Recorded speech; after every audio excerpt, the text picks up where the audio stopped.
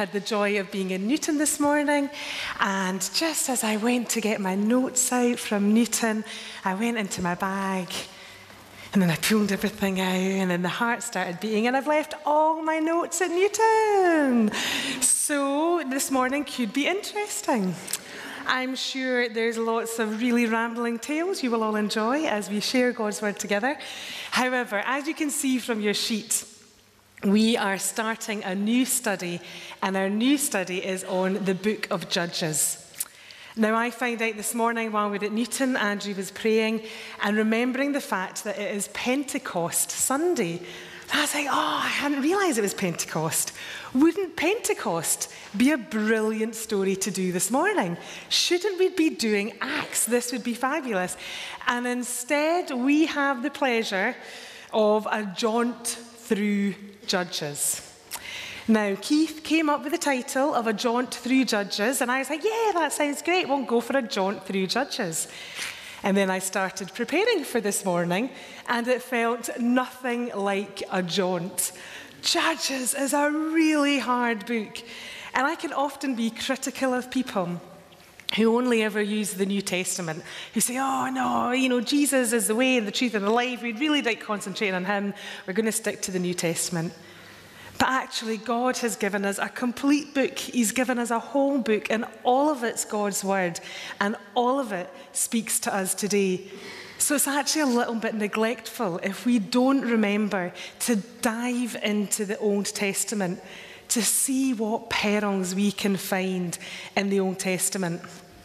So we're going to start our jaunt not a jaunt. We're going to start our study um, looking at the book of Judges. But we thought it would be really helpful if we gave you a bit of an overview of the whole thing. We're looking at a couple of particular stories within that book. But we thought rather than just dipping in and dipping out, it would be helpful to just give you that wide picture of what's going on in Judges.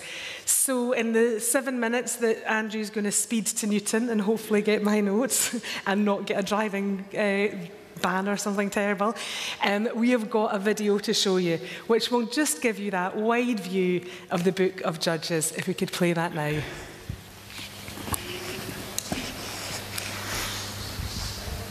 The book of Judges.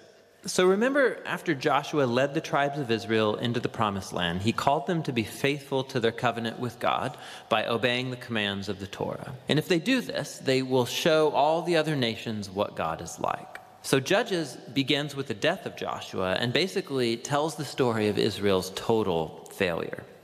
The book's name comes from the type of leaders Israel had in this period. Before they had any kings, the tribes were all governed by these judges. Now, don't think of a courtroom. These were regional political military leaders, more like a tribal chieftain. And you need to be warned the book of Judges is very disturbing and violent. It tells the tragic tale of Israel's moral corruption, of its bad leadership, and basically how they become no different than the Canaanites. But this sad story is also meant to generate hope for the future. And you can see this in how the book's designed. There's a large introduction that sets the stage for Israel's failure as they don't drive out the remaining Canaanites. Then the large main section of the book has stories about the growing corruption of Israel's judges. And the progression here shows how Israel's leaders go from pretty good to okay to bad to worse. The concluding section is really disturbing and shows the corruption of the people of Israel as a whole. So let's dive in and we can explore each part a bit more. The opening section begins with the tribes of Israel in their territories in the Promised Land. And while Joshua defeated some key Canaanite towns, there was still a lot of land to be taken and lots of Canaanites living in those areas. And so chapter 1 gives a long list of Canaanite groups and towns that Israel just failed to drive out from the land.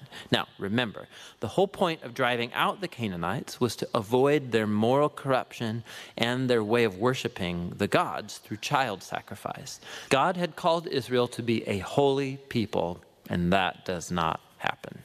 Chapter 2 describes how Israel just moved in alongside the Canaanites and adopted all their cultural and religious practices. And it's right here that the story stops. For nearly a whole chapter, the narrator gives us an overview of everything that's about to happen in the body of the book. This part of Israel's history, the narrator says, was a series of cycles moving in a downward spiral. So Israel became like the Canaanites, and so they would sin against God.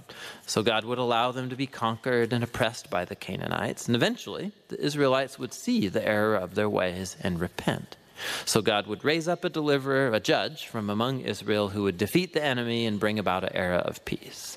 But eventually Israel would sin again and it would all start over. This cycle provides the literary design and flow for the next main section of the book. It gets repeated for each of the six main judges whose stories are told here. Now, the stories of the first three judges, Othniel, Ehud, and Deborah, they are epic adventures. They're also extremely bloody stories. Either the judge themselves or people who help the judge, they defeat their enemies and deliver the people of Israel. The stories about the next three judges are longer, and they focus in on the character flaws of the judges, which get increasingly worse. So, Gideon, he begins pretty well. He's a coward of a man, but he eventually comes to trust that God can save Israel through him. And so he defeats a huge army of Midianites with only 300 men carrying torches and clay pots. But Gideon has a nasty temper, and he murders a bunch of fellow Israelites for not helping him in his battle. And then it all goes downhill from there. He makes an idol from the gold that he won in his battles. And then after he dies, all Israel worships the idol as a god, and the cycle begins again. The next main judge is Jephthah, who's something of a mafia thug living up in the hills. And when things get really bad for Israel, the elders come to him begging for his help. And Jephthah was a very effective leader. He won lots of battles against the Ammonites, but he was so unfamiliar with the God of Israel, he treats him like a Canaanite God. He vows to sacrifice his daughter if he wins the battle. This tragic story, it shows just how far Israel has fallen. They no longer know the character of their own God, which leads to murder and to false worship. The last judge, Samson, is by far the worst. His life began full of promise, but he has no regard for the God of Israel. He was promiscuous, violent, and arrogant. He did win brutally strategic victories over the Philistines, but only at the expense of his own integrity, and his life ends in a violent rush of mass murder. Now, a quick note here. You'll notice a repeated theme in the main section of the book that at key moments, God's Spirit will empower each of these judges to accomplish these great acts of deliverance. Now, the fact that God uses these really screwed up people doesn't mean he endorses all or even any of their decisions. God is committed first and foremost to saving his people, but all he has to work with is these corrupt leaders. And so work with them he does. This whole section is designed to show just how bad things have gotten. You can't even tell the Israelites and the Canaanites apart anymore, and that's just the leaders. The final section shows Israel as a whole hitting bottom. There are two tragic stories here, and they are not for the faint of heart. They're structured by this key line that gets repeated four times at the close of the book. In those days, Israel had no king, and everyone did what was right in their own eyes. The first story is about an Israelite named Micah who builds a private temple to an idol, and that gets plundered by a private army sent from the tribe of Dan. So they come and they steal everything, and then they go and burn down the peaceful city of Laish and murder all of its inhabitants. It's a horrifying story. When Israel forgets its God, might makes right. The final story of the book is even worse. It's a shocking tale of sexual abuse and violence, which all leads to Israel's first civil war. It's very disturbing. And that's the point. These stories are meant to serve as a warning. Israel's descent into self destruction is the result of turning away from the God who loves them and saved them out of slavery in Egypt. And now Israel needs to be delivered again from themselves. The only glimmer of hope in this story is found in this repeated line in the last part of the book. It actually forms the last sentence of the story. Israel has no king. And so the stage is set for the following books to tell the origins of King David's family, the book of Ruth, and also the origins of kingship itself in Israel, the book of 1 Samuel. But the story of Judges has value as a tragedy. It's a sobering explanation of the human condition, and ultimately it points out the need for God's grace to send a king who will rescue his people. And that's the book of Judges.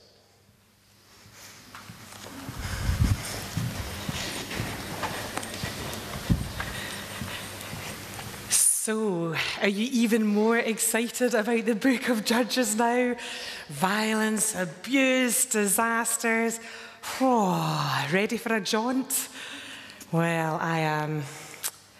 And you know, it's interesting, isn't it? Because I wonder who here um, uses Facebook. The church here even has its own Facebook page. But when we use Facebook, what we tend to do is edit our lives a little bit. I don't put photos of my dirty sink with a pot that's been lying for three days.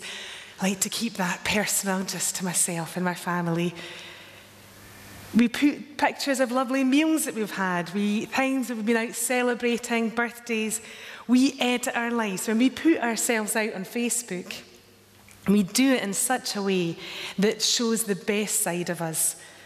I was at a girls' lunch recently and there was about six of us, and my sister says, I'll take a photo and put it on Facebook.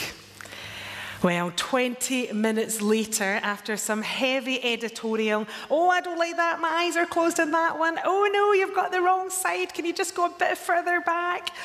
We want to present our best selves to the world, and rightly so. But as we see from Judges, this is not like that. Judges needed some heavy editing. They had everything out there all the mistakes, all the failures, all being documented. When I moved house to our new place, I had a box with all my old memories, all the kind of special, sentimental bits and pieces from over the years. And as I was going through my box, I found my old journals you would have thought I was the most miserable person in the entire world. These journals were not cheerful reading. Life's a disaster. I don't know what I'm doing. It was proper teenage angst and despair at its very best. But it made Radiohead sound cheery. I mean, this was seriously. And I wonder, I was like, why did I not write anything cheerful? Why did I not write about? Because I know I had some good times. But for some reason, I was caught in the moment in the good times, and my journal was preserved just for my very darkest moments. When I went on to become a youth worker, I was working alongside a group of teenage girls, and I would hear them chatting, and I would remember those moments of angst those times of real lowness, lowness where I thought, I just don't know what I'm doing. And I wasn't quite brave enough to get my journal out and read them excerpts. But I was able to identify with them. I was able to say, do you know, I really know what you're going through. I remember how dark life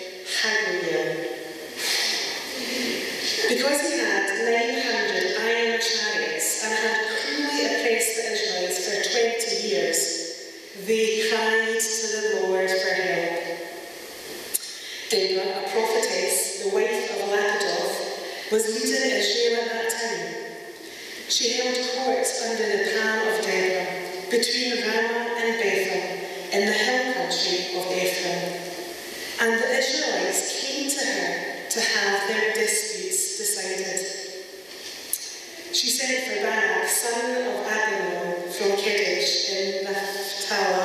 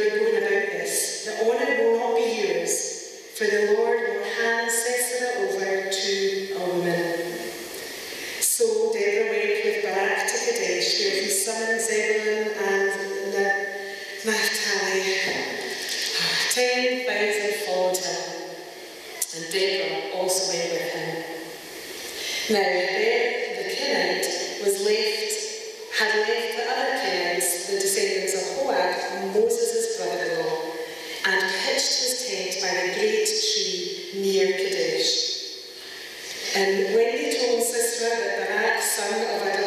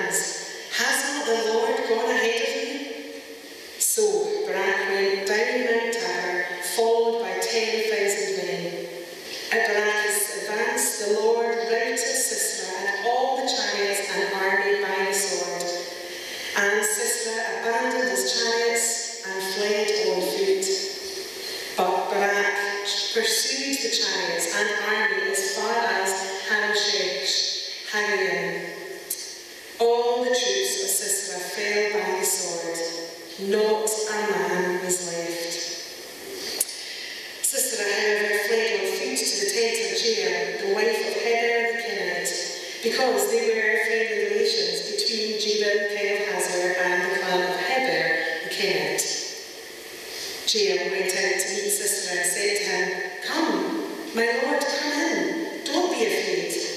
So he entered her tent, and she put a covering over him.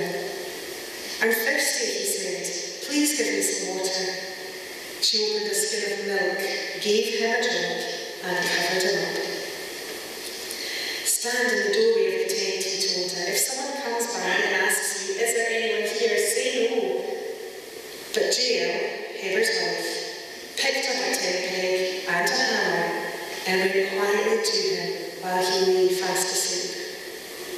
Exhausted, she drove the peg through his temple into the ground, and he died. Barak came back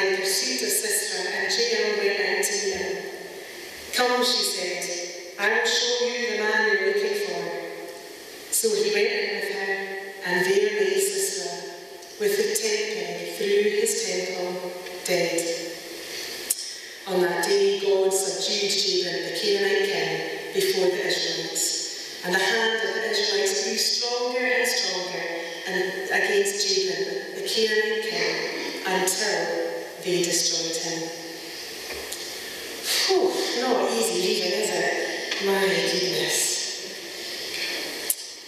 There's lots of things in this passage that we can consider. But you know, it wouldn't be right to not acknowledge that in the book of Judges there are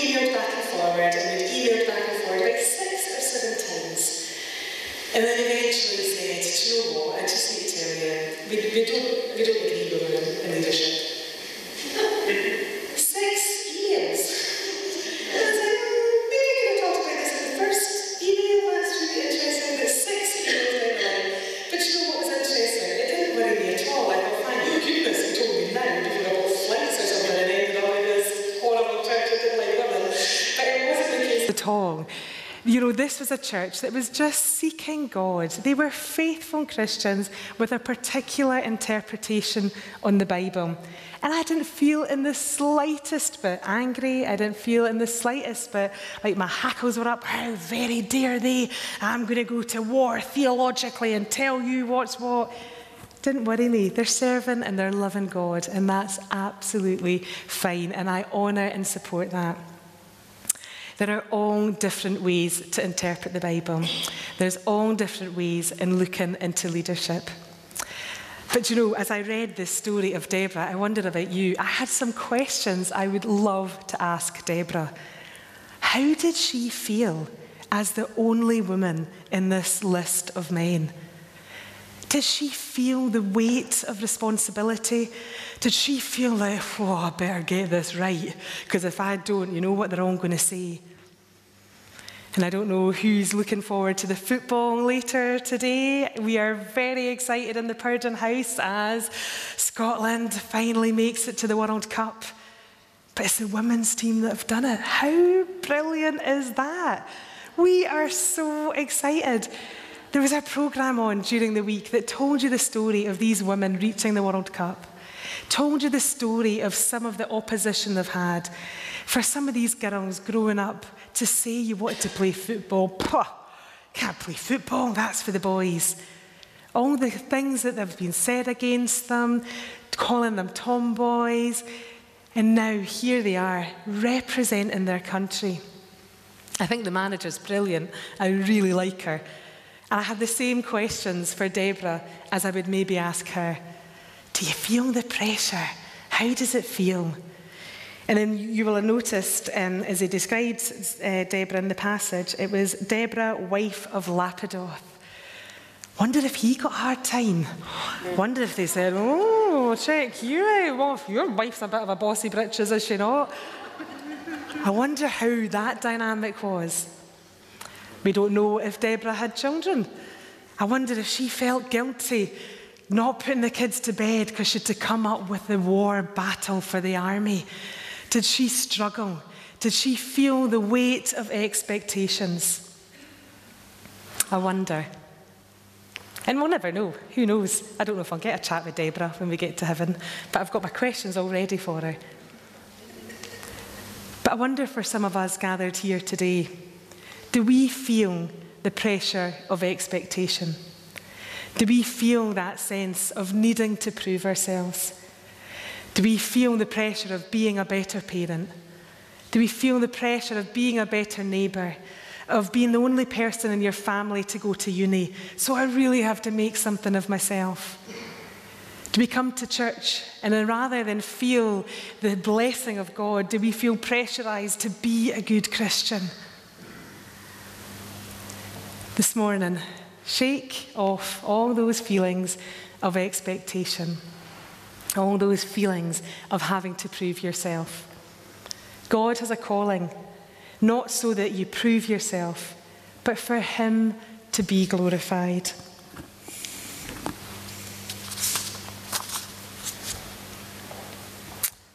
Back to our passage. So, we've continued in our story. Deborah's told Barak what the plan is. Here's the strategy. You're going to do this. You're going to sort this out. Deborah's got it sorted. And what does Barak say? Oh, I'm only coming if you come too. Isn't that brilliant? And you know, there's two ways to interpret that as well. For some, they interpret that as saying, oh, this really does go to show how desperate these Israelite men were. They are so utterly useless, not only as a woman in power, but they refuse to go anywhere without her being there. For some, Barak is an absolute sissy of the highest order. sissy Barak. Sounds like I don't know, a pop star. Um, but for others, they interpret that very differently. And they say, oh, Barak is actually extremely sensible. He knows fine well God's anointing is on Deborah. And he's saying, if Deborah's not there, there's no way I'm going to battle without God's anointed person beside me. Ha, don't think so. Barak is actually acting very wisely by keeping Deborah on side. And again, we don't really know what the interpretation is, but we do know that to battle they went. And those men, I, I, imagine them all with their knees knocking and their swords, thinking, oh my goodness, we're off to battle, as seeing the enemy 900 chariots before them.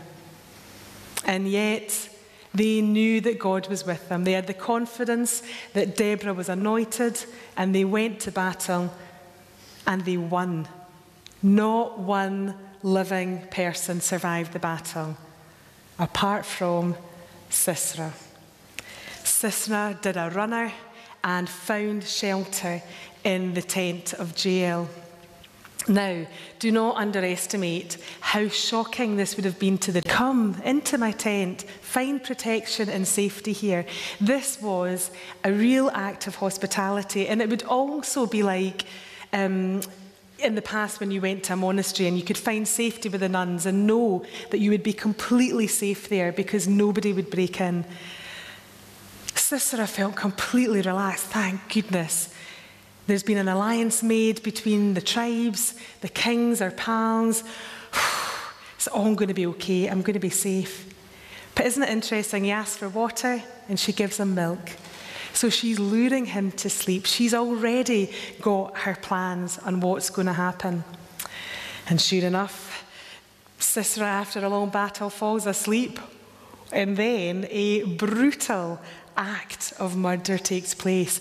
Do you know, I shouldn't tell you this, but the version that they use at Newton was so, I don't know what version they use actually, Andrew, what do they use there? New, the New, New English. They didn't hold back. They were talking about brains oozing out. It was totally disgusting. I know. Um, I did skip over it, but I thought I'd tell you all. Sorry. But this was really disgusting. This was so awful what she did.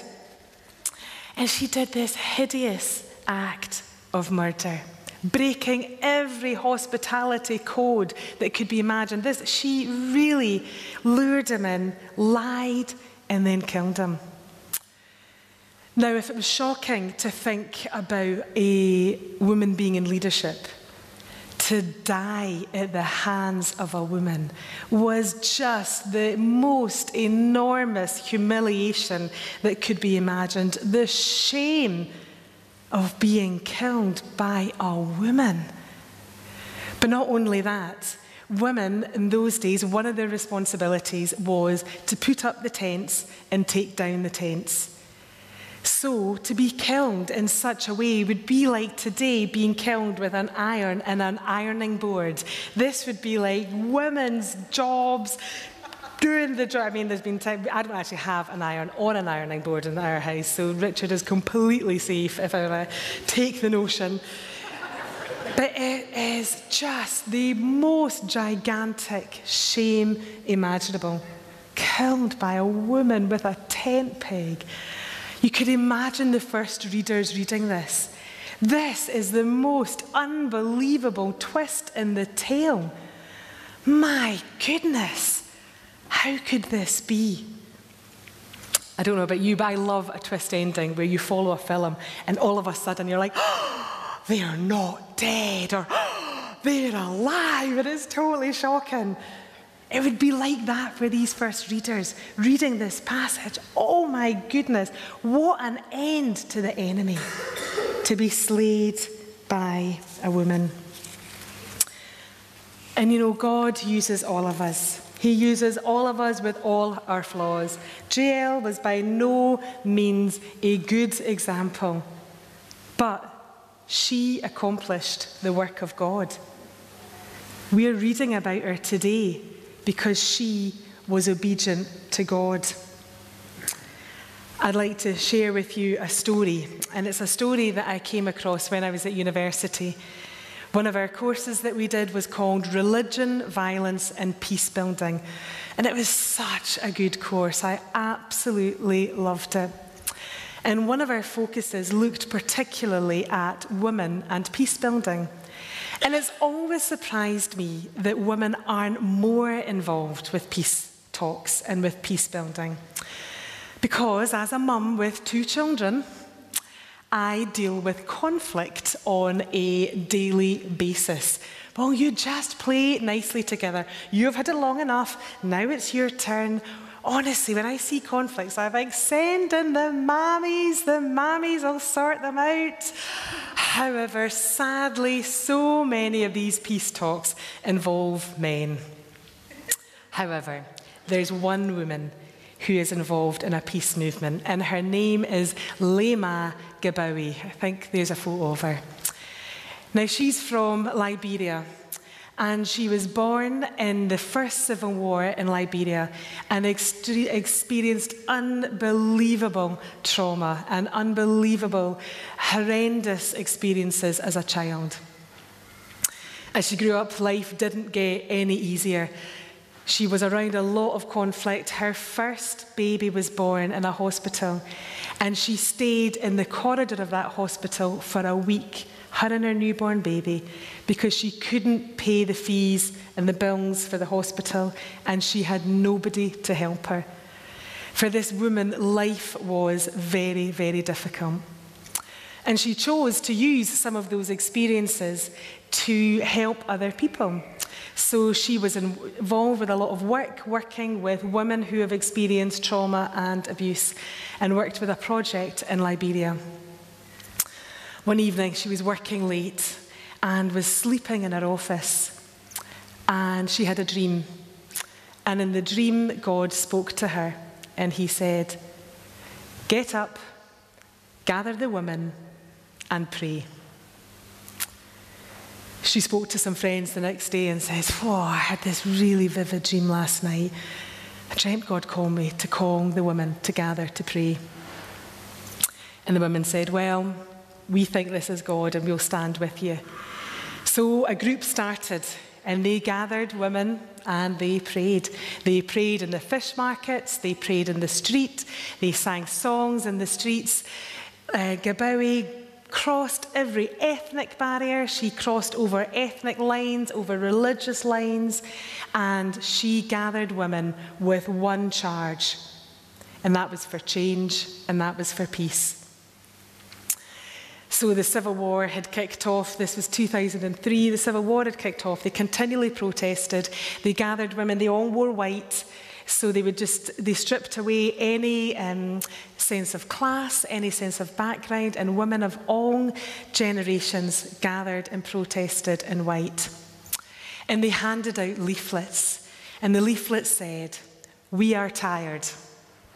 We are tired of our children being killed. We are tired of abuse. We want change and we want peace. For many of the women, they didn't read, so they had pictures drawn in the leaflets of gathering and uniting these women. There was peace talks in a very fancy hotel, and the women marched to the hotel and barricaded the men in. I mean, how brilliant is that? They just says, right, that's it. So they gathered, they made their protest, but then the, the, the, talks were going on for so long. They started in the June. By end of July, the women were like, we have absolutely had enough of this. So they stormed the hotel. They went right to the door. They linked arms and they says, we're taking you hostage. Nobody moves until you come out with an agreement. And at first the men were like, ha ha ha, this is ridiculous. General Gbowee and her troops, ha ha ha, it's a bunch of women. But then actually they realised this is serious. When they tried to move, the woman says, we will take our clothes off. And in Africa, to do that to, for an elderly woman or a married woman, that would, be, that would bring a curse onto you. So the talks started to turn very seriously. And these women refused to move. And in a couple of days, they had their agreement. Now, Leymah Gbowee is by no means the perfect example of a woman. She had a number of failed relationships. Her family life was very chaotic. She really wrestled with alcohol at various stages of her life. But she changed the course of a country's history because she was faithful to God she was faithful to his invite to gather the women in praying. It wasn't Gbowee that changed, it was the prayer, wasn't it? That's what did it. The women gathered and prayed, and war came to an end. I wonder for us if there's areas where we need to be faithful and to rise up. As I think of that tent peg getting driven into the enemy. Are there areas where we need to drive in a tent peg? But I wonder if this is a more useful symbol for us. A symbol of violence, a symbol of torture, redeemed to be a symbol of hope and a symbol of love. Where do we need to drive the cross? Who's our enemy? Sickness, injustice, poverty, oppression? Where do we need to drive the cross in and see God's love and God's freedom? We are flawed people. We are gathered, but we are faithful. And God can use us. He doesn't ask us to be perfect, He does ask us to be faithful. Regardless of our gender, regardless of our age, regardless of our class, regardless of our theology, God calls each one to live a life of action, to oust the enemy, and to see God's kingdom come. Let's pray.